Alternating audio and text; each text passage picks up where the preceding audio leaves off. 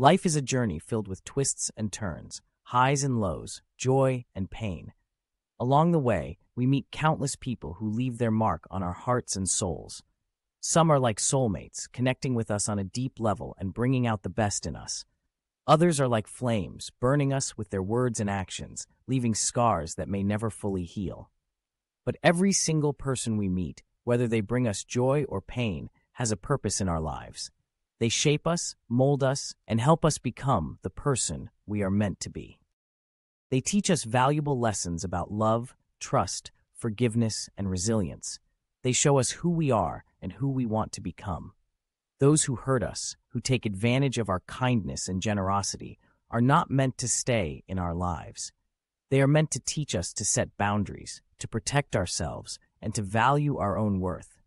They are meant to show us that not everyone has our best interests at heart, and that it is okay to walk away from toxic relationships. Those who embrace us, who lift us up and support us, are the ones we hold dear in our hearts. They are the ones who remind us that we are worthy of love, respect, and kindness.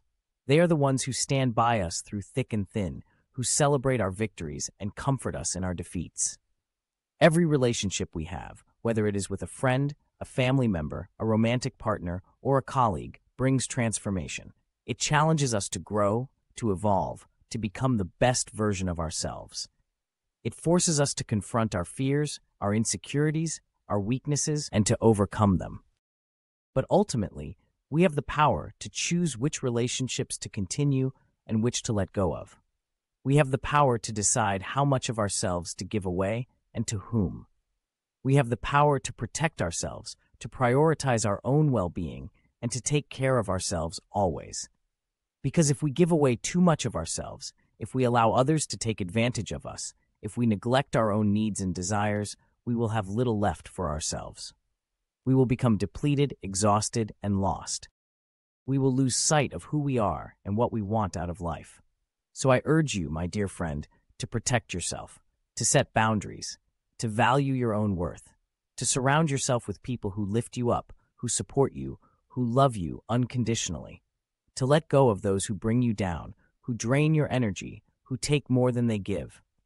And remember, every person you meet, every relationship you have, every experience you go through has a purpose. They are all part of your journey, your story, your growth. Embrace them, learn from them, and let them shape you into the beautiful, resilient, inspiring person you are meant to be. Take care of yourself always, and remember, you are loved. Much love.